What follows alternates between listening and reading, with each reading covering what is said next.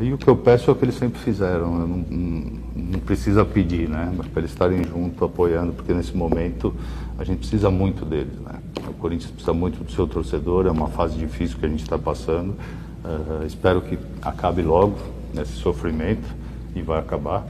Uh, mas a gente precisa ter eles do lado, né? O Corinthians com a sua torcida é uma coisa e sem é totalmente diferente, né? Não existe uma torcida igual, não existe uh, quem apoie tanto.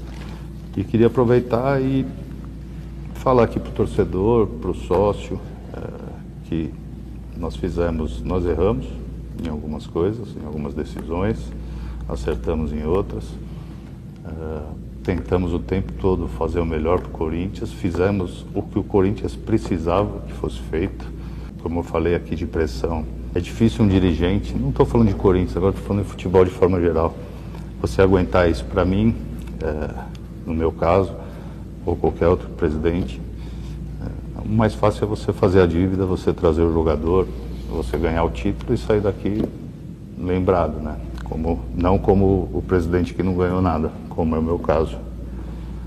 Mas falei isso para vocês lá atrás e continuo falando. Mas fui, e você até o último dia, o presidente responsável, que enfrentou, que tinha que enfrentar para fazer direito, para fazer o que o Corinthians precisava e os números estão aí. Não ganhei não ganhei, infelizmente.